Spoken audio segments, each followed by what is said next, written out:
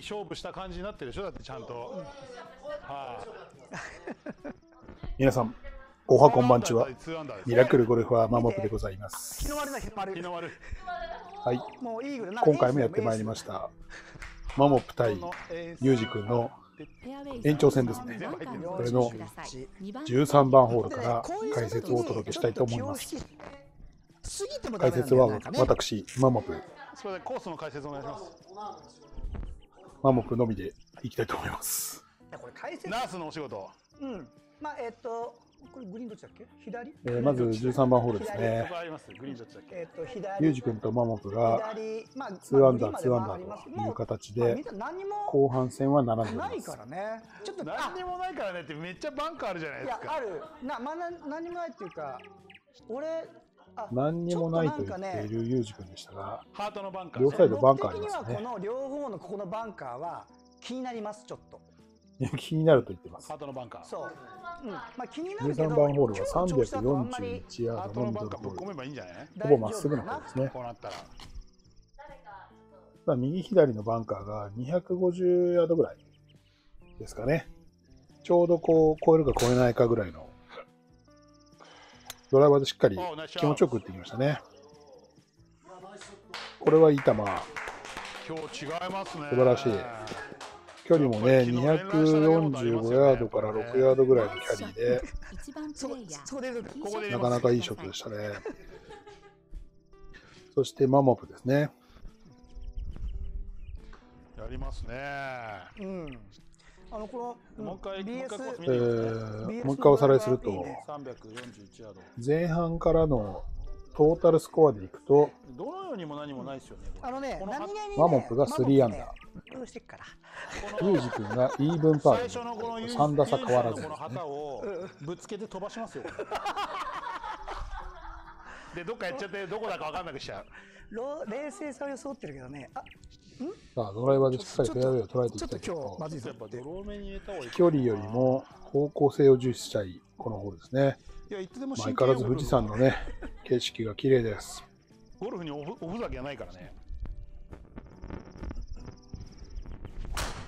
おおいいねこれもしっかり打ってきました。ああこれ多分ややドロー目のボールでキャリーでいかれるああいかれちゃったお265ヤードぐらいキャリーが出ましたかね。これはいいショットでした。キャリーでいかれたな87ヤード。やっぱゴルフって飛距離なんですかね。セカンドショットですね。まあでもね、これそのうちね、誰かチャレンジャーがね、350とか飛ぶやつが出てくるとね、もう、87もうねもハモいかな。全部届いちゃうみたいな感じで。86クラブは何？をそうですね、ゴルフ場ね、も。う、そうですそうですね。もうどんどんどんどん、もう。ん86う違うコースを作っていかなきゃいけない。86か。富士山でかっ。あもう富士山。富士山はみ出してますね。入ってないね。富士山でかっ。入ってない。でもここは本当に富士山すごく見えるらしいですよねでも結構寒い時期ですね、これね、プレーしてるね。あんなとこまで富士山、雪があるからね。80半袖やって短パンで58を持ったでしょうか？80 1月とか2月ぐらいですよ、あれきっとね。でもほら富士山さ雪ないとなんか富士山。まあまあそうなんですよね。そう。さあこれちょっと少し抑ピンえめの奥が高くなってますからね、結構デッドに攻めたいところで狭す。くして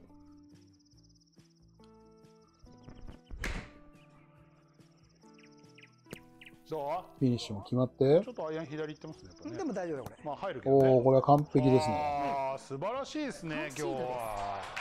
OK ですね、バーディー。素晴ら、素晴ら P ですね。これで3アンダーときましたね。なんかあのギャラリーいるといいななんだろうね。これね、あのマモプはね、ちょっとここ、今日はちょっとユージ君が違うぞっていうことで、嬉しいなんだろう3打差ではあるものの、やはりこれしっかりついていかないと、追いつかれる可能性が出てきますんでね。えー残り64ヤード。この番組はご覧のスポンサーの提供おでここで提供入りました。ホンダ塗装。ゴルフスタジオギアサポート。井上美術株式会社。YJ プラスの提供でお送りいたします。という感じですかね。はい。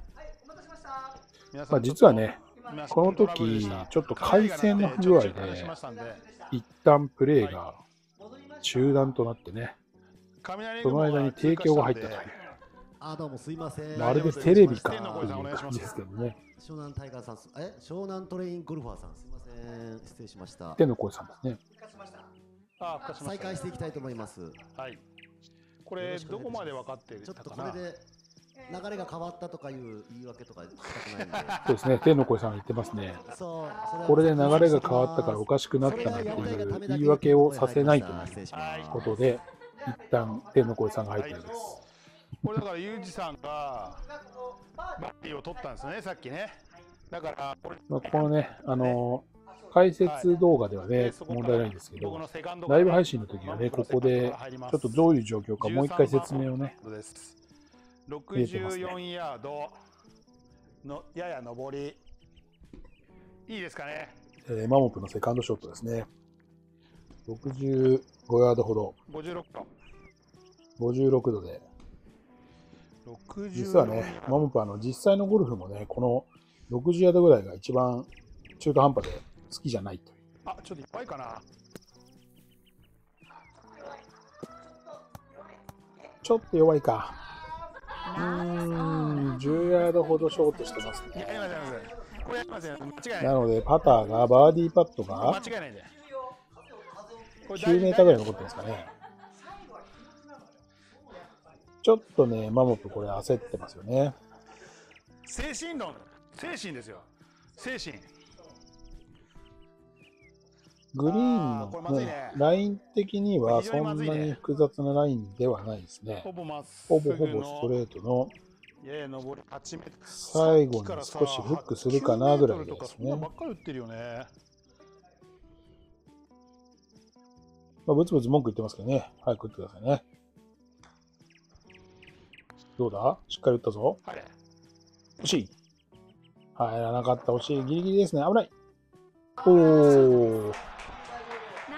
コンシードでパーですね。これでね、ユージ君が1打詰めましたね。13番ホール終わりました。ここでユージ君が1打詰めてっ、た。2打差ということになりましたたんですうん。そうですね、ピンマイク初めてだからそう。あはい、ありがとう。フェアウェイ左側の OB にご注意ください皆さえんお待たせしました。14番ホール、いやお待たショートせしましたホールですね。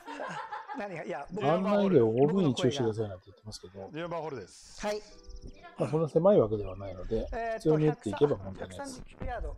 これもね、ちょっとそし迷うんですけて、ど、右の上のね、ちょっと8番グリーンの形状を見ていただけると分かるんですけど、手前がね高くなってい手て奥に向かって下っているというグリーンですね。なので手前の高いところに落として、ちょっと転がすような感じですかね。8番や持ってですね。あ、ちょっと弱かったかな。抑えて本打ちすぎたかな。人弱いって言大丈夫かな？トリックインチキじゃないんあだよ。ミラクルなんだよ。大丈夫かな？あれ？おーおーおー。大丈夫かな？眉眉これはまたショットが出ましたね。ナイスショットですね。おっと、ユージ君、今日は違いますね。かなりマモンプにプレッシャーをかけていってます。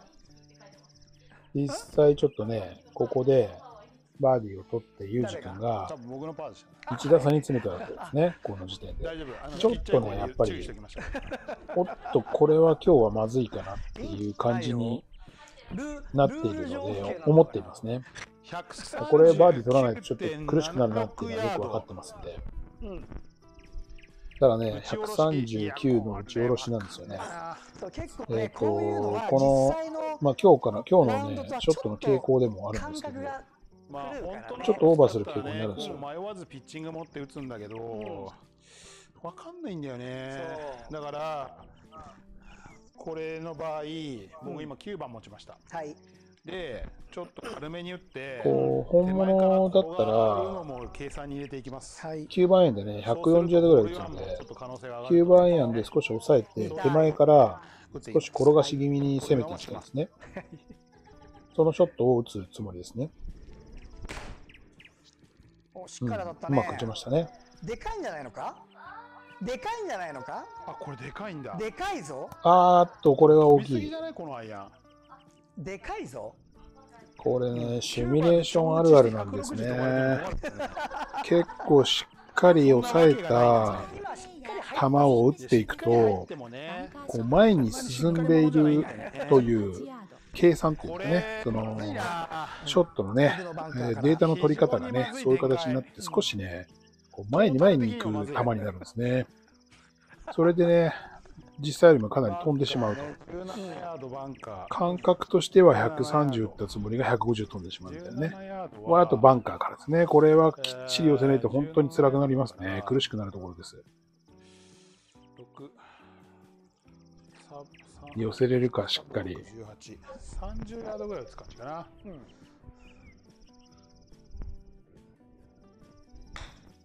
おカツンコ。どうだ？止まれ入れ。止まれよし。止まれ。ほら止まった。おーナイスバンカーですね。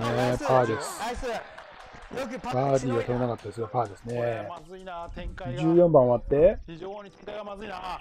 後半は4アンダーと2アンダーということで、だってめ何度差から始めたっけ？1打差まで詰め寄りましたねえっと1と2だからそうですねはいそうですね2番これは流れがユージ君にかなり傾いてるという雰囲気が漂ってますね。これねやっぱ15番ホールで1打す。ここでね、ちょっと長めのミドルホール。さんがワンオーバー2オーバースタート。この感じでいくと、ユージ君はやっぱ170から160ぐらいの地点なんで、4アンダーしっかりフェアウェイに打っていかないと、セカンドショットが非常に難しくなる。ですね。あと2アンダーうん。ですから、ここはしっかり打っていこうということで、池があるぞここに。大丈夫か？ちょっとね、急に何かを気にし始めました。あ、池ですね。これあの右池ですよ280ヤード行かないと入らない池はね関係ないですね俺そんな280は飛ばないから、これはもう気にしないでしますド右に290だと入らないですからね。まあ、こういったなんですけど、先ほどから260ぐらいですからね。入らないですね。お気持ちよくできましたね。ああ、ただちょっと左ですね。お？ドライバー間違ええたって言ってますね。これはもう失格ですよこれ。これ？はね、さっきまで使ってたドライバーじゃないドライバーで来ましたねしかも、マンモップこれ使ったろみたいなこと言ってますから、自分でこれを出して打っているというね、途中の中断でさ。違うドライバーで打ってしまいましたね。もう本当の競技だったら失格案件ですね、これ。なんだよこれいろんなことをね、起こしますね。やはりユージ君、ミラクルですね。オフィシャルがネオですね。スーパーですね。素晴らしいです。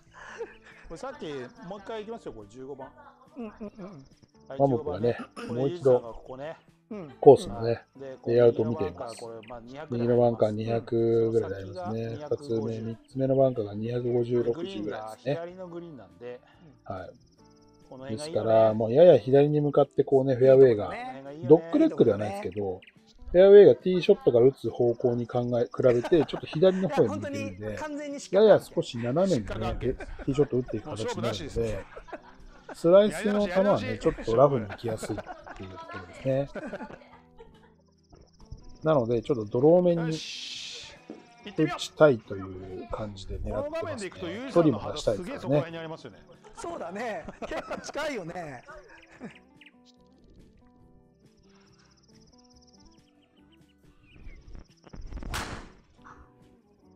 うん。ああ、これは狙い通りのね、右からドロー目の球で、しっかり、もういつでもキャリーも250超えたとこキャリーオーバー1億円。ろ、うん、しっかり打ね。1億円7億円。いやそしてユージ君のセカンドですね。軽いなと思ったの。距離もねちょっと残ってしまいましたね。186ヤード。僕ね。そして、画面で見ていただいても分かる通り、お。ちょっと左の木が気になるかなと。そうね。実際にコースをねもし186ヤードのあマイナスね。プレイしてるとしたら、11ヤード内ここはかなりあれですよね、右左の木になっての、右に跳ねていけとかない右じゃない、左の木がね、気になりますんで、そして右がサブグリーンになりますんで、もうちょっと右の広いところを狙直って、右ですけどね。まあ、サブグリーンでもいいかなっていうところで、狙っていくちょっとですよね結局勝ち負けじゃないってことですね。実際のコースだったら、もう僕だったら右のサブグリーンの手前に行っうまいこと言うね。ただこれは、ユージ君は多分5番アイアンを持って、もう強引に狙っていく感じですね。イケイケどんどん、イケイケどんどんって感じですね。もうね、しっかり振ってますからね。ピンしか見えてないですよね。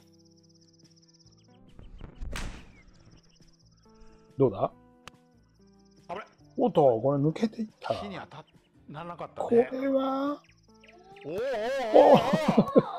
またまたスーパーショット。これ距離感すごい3ホール連続のスーパーショットがあ出ましたね。これは練習ラウンドの成果が出たと言っていいんじゃないでしょうか いやー、笑ってますね、本人ね。嬉しそうに笑っております。えっと、ごめんえなさい。ーっと、これで、ユージ君がね、5アンダーになりましたね、後半。ということで、トータル3アンダー。ともえさん、ともえさん。シャンクしませんでした。